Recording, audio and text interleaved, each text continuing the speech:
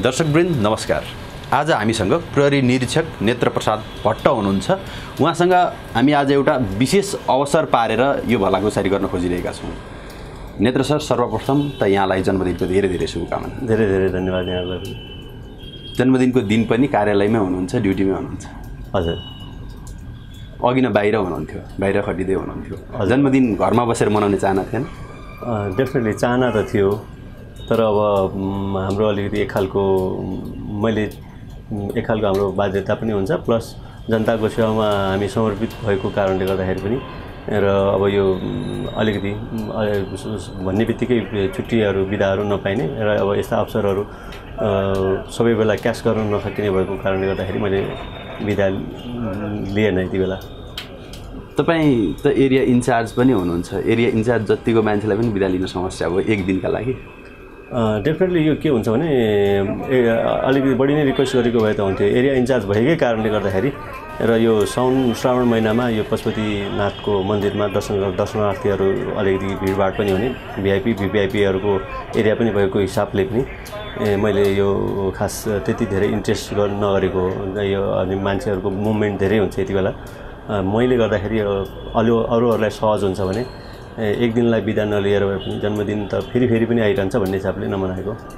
परिवारबाट भन्नु भएन? उम्, होइन। म्याडमले छोराछोरीले बच्चा बच्चाहरूले उहाँहरूले चाहिँ भन्नुभएको छ सम्भवतः मिल्यो भने म साँझ अब यो ड्युटी सकिसकेपछि आठ नौ बजीतिर गएर उनीहरूसँग सेलिब्रेट गर्छु। तपाईँ एउटा उदाहरण पनि हो किनभने जन्मदिनको दिन सकेसम्म छुट्टी मिलाएर घरमै बसौँ परिवारसँग बसौँ धेरैको चाहना पनि हुन्छ। र हामीले तपाईँसँग यो भलाकुसारी गर्नुको उद्देश्य पनि के हो भने सबैलाई एउटा म्यासेज जाओस्। सिनियरदेखि जुनियर लेभलसम्मका सबैलाई र आम नागरिकलाई पनि सुरक्षाकर्मीले हाम्रो सुरक्षाका लागि कतिसम्म मिहिनेत गर्नुभएको छ भन्ने उद्देश्य हो। हजुर। त्यो बारेमा के भन्नुहुन्छ? हो डेफिनेटली यो हामीले सुरुमै जागिर खाँदै खाँदै गर्दाखेरि पनि हामीले धेरै अवसरहरू जस्तो धेरै चाडपर्वहरूलाई पनि हामी मिस गर्न सक्छौँ भनेर नै हामीले चाहिँ सुरुमा सेक्रिफाइस गर्छौँ। किनभने जस्तो ठुला ठुला चाडपर्वहरू दसैँ तिहारहरूमा धेरै मान्छेहरू जानुहुन्छ।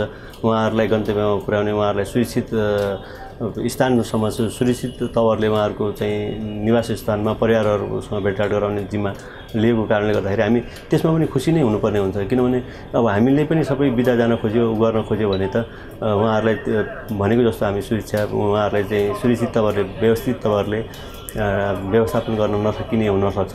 त्यसैले हामी अरू मान्छेहरू खुसी भएको देख्दा पनि हामीलाई खुसी नै लाग्छ। त्यो भएर नै हामीले चाहिँ सुरुमै जागिर खाँदाखेरि हामीले थाहा भएरै हामीले अलिकति अप्ठ्यारो परिस्थितिमा पनि हामी हामी सहज हुन्छौँ। अप्ठ्यारो परिस्थितिको सामना गर्नुपर्छ भन्ने मन मनसायका साथ हामी फोर्समा आएका हुन्छौँ। जागिर जागिरका लागि होइन? राष्ट्र सेवाका लागि। राष्ट्र सेवाका लागि हो जनताको सेवाका लागि हो राष्ट्रको सेवाका लागि हो। कति वर्षको भइएछ र कति वर्ष राष्ट्र सेवा गरिएछ अहिलेसम्म? अहिलेसम्म मैले तेइस वर्ष झन्डै झन्डै नौ महिना जति सेवा गरिसकेँ राष्ट्रको लागि झन्डै सेवा 24 गरिसकेँ। वर्ष भनौँ। हजुर उमेरले चाहिँ म सत्तालिस वर्ष पुरा पुगेर अडतालिसौँ वर्षमा प्रवेश गरेँ आजबाट अडचालिस वर्षमा प्रवेश गर्नु। हजुर। र जस्तो अन्य साथीहरू प्रहरी साथीहरू पनि हुन्छ। उहाँहरू पनि छुट्टी माग्नु होला कसैको एनिभर्सरी पर्छ जन्मदिन पर्छ। त्यो बेला चाहिँ के गर्नुहुन्छ? हामी मैले पनि सेक्रिफाइस गरेको छु तिमीहरू पनि गर भनेर रिक्वेस्ट गर्नुहुन्छ? होइन यस्तो त्यस्तो बेलामा सकेसम्म त हामी कोसिस गर्छौँ उहाँलाई दिने कोसिस गर्छौँ। कहिले काहीँ कस्तो हुन्छ भने दिनै नसकिने अवस्था हुन्छ धेरै भिडभाड हुन्छ र ड्युटी धेरै खटिनुपर्ने हुन्छ। र माथिबाट पनि त्यस्तै खालको निर्देशनहरू कहिलेकाहीँ हुनसक्छ। होइन भने पनि अब सबभन्दा पहिला त मैले अघि उल्लेख गरेको जस्तो सङ्गठनको आवश्यकता महत्त्वपूर्ण हुन्छ। हाम्रो आवश्यकताभन्दा पनि यो त आवश्यकता त हो। एनिभर्सरी बर्थडे यस्ता यस्ता केही चाडपर्वहरू ग्यादरिङहरूमा चाहिँ जान पाउनु पाए हुन्थ्यो भन्ने त चाहना राख्नु स्वाभाविक हो। तर त्यो सबै बेला समय परिस्थितिले दिँदैन जस्तो अब अहिले यहाँ श्रावण महिना चलिरहेको छ पशुपतिनाथमा दर्शन गर्न आउने दर्शनार्थीहरूको बिहानैदेखि निकै भिड हुन्छ। त्यसमा पनि सोमबारको दिन त हामी कसैलाई छुट्टी बिदा दिन नसक्ने अवस्था हुन्छ। एकदमै त्यस्तै केही परिहाल्यो। एकदमै अप्ठ्यारै पऱ्यो भनेदेखि बाहेक। नत्र यस्ता जेनरल कुराहरूलाई हामीले सेक्रिफाइस गर्नुपर्छ भन्ने हाम्रो मान्यता हुन्छ। जस्तो संस्थाभित्रै पनि यसरी उत्सवहरू मनाउने परम्परा हुन्छ यहाँहरूकोमा छैन? उत्सवहरू अब त्यस्तो कसैको जन्मदिन पर्यो कसैको एनिभर्सरी पर्यो ऊ घर जान त पाएन परिवारसँग बस्न त पाएन तर संस्थाका आफ्ना अर्गनाइजेसनका साथीहरूसँग बसेर सेलिब्रेट अर्गनाइजेसन अर्गनाइजेसनका अर्गनाइजेसनमा बसेका साथीहरूसँग त केही मिलेसम्म हामी सेलिब्रेट गर्छौँ जस्तो आजको दिनमा पनि मेरो बर्थडे थियो। साथीभाइहरूसँग बिहान सँगै बसेर खाना खाना खाने त भयो।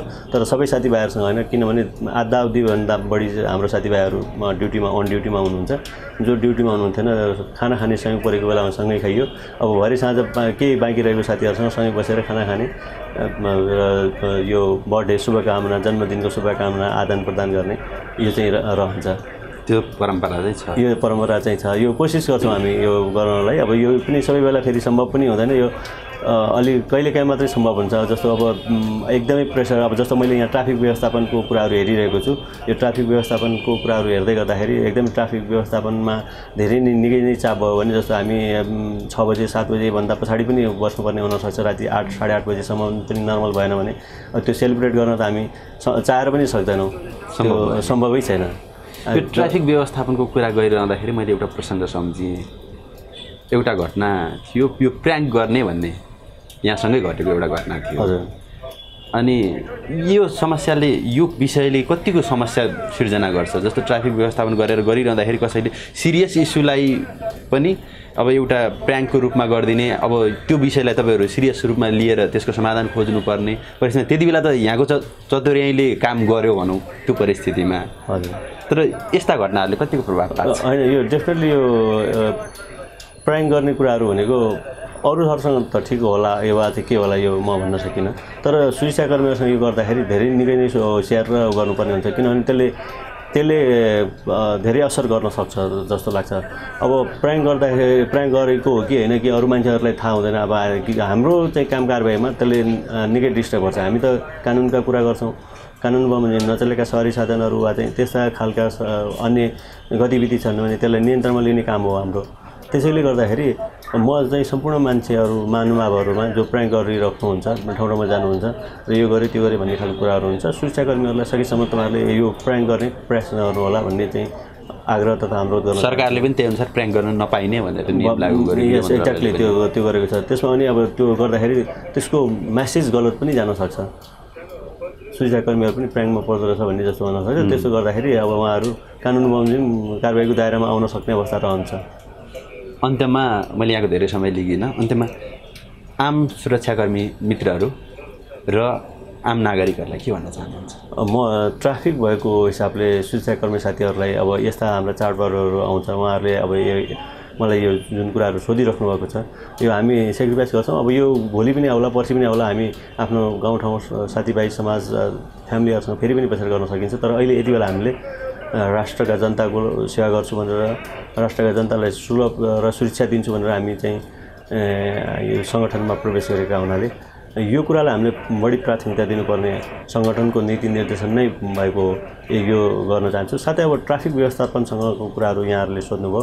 मैले छोटकरीमा भन्नुपर्दाखेरि हामी सवारी चालक महानुभावहरू तथा पैदल यात्रु महानुभावहरूलाई के चाहिँ देखिन्छ भने अन्य बेलामा हामी हतार गर्दैनौँ। सडकमै आएर हतार गरेको कारणले गर्दाखेरि सवारी व्यवस्थापनमा ट्राफिक व्यवस्थापनमा असर गरिरहेको हुन्छ। साथसाथै यसले जाम र दुर्घटना पनि निम्त्याइरहेको हामीले देखेका छौँ। जस्तो सबै हरेक गाडीहरू तीव्र गतिमा कुर्नुपर्ने ट्राफिक लाइटमा आउने बेलामा झन् बढी स्पिडमा गएर चाहिँ सकेसम्म ट्राफिक लाइटमा बस्नु नपरोस् भन्ने चाहना राख्ने जस्तो देखिन्छ भने पैदल यात्रु महानुभावहरूलाई पनि विशेष गरी चोकहरूमा बस पकेटहरूमा जहाँ पाए त्यहीँबाट बस चढिदिने र बस पकेटहरूमा बसमा नझर्ने र जेब्रा क्रसिङ छ कि तपाईँको दस पचास मिटर तल माथि जेब्रा क्रसिङ छ।